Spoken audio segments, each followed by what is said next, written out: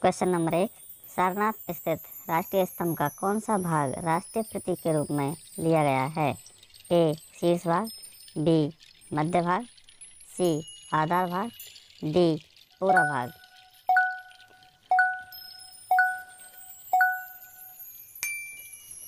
ए शीर्ष भाग। Question number दो, भारत के राष्ट्रीय प्रतीक में इनमें से कौन सा पशु दृष्टिगत नहीं है? ए घोड़ा, बी हिरन, सी सांड, डी सिंह।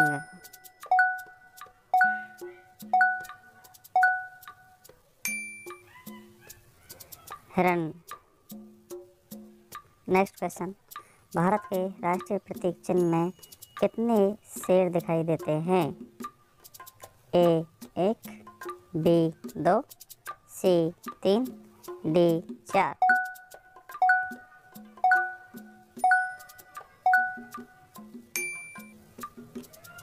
सी, तीन।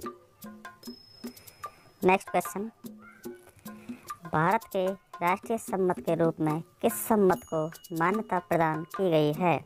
ए शक सम्मत बी विक्रमी सम्मत सी कोलम सम्मत डी ग्रेगोरियन सम्मत। ए शक सम्मत। नेक्स्ट क्वेश्चन शक सम्मत पर आधारित राष्ट्रीय पंचांग का प्रथम मास कौन सा होता है? A, Phalgun, B, Magh, C, Chaitra, D, Baisakh.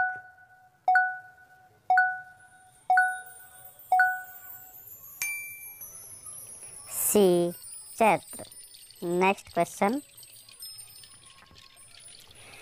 Shaka सम्मत पर आधारित राष्ट्रीय पंचांग का अंतिम मास होता है। A, Phalgun, B, Magh, C, Chaitra, D, Paush.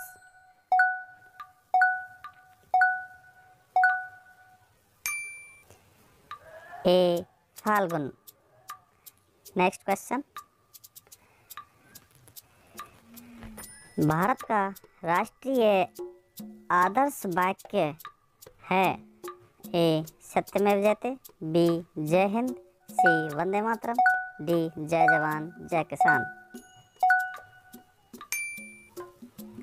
सत्यमेव जयते नेक्स्ट क्वेश्चन भारत का राष्ट्रीय पक्षी है ए, तोता, बी, कबूतर, सी, मोर, डी, बाज।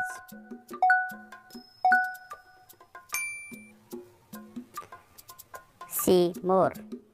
नेक्स्ट क्वेश्चन भारत का राष्ट्रीय पशु है ए तेंदुआ, बी चीता, सी बाघ, डी सिंह।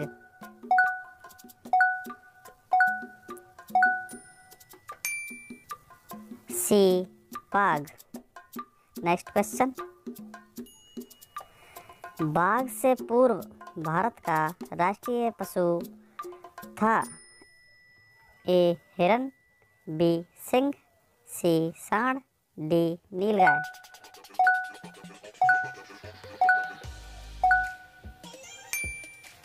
बी सिंह।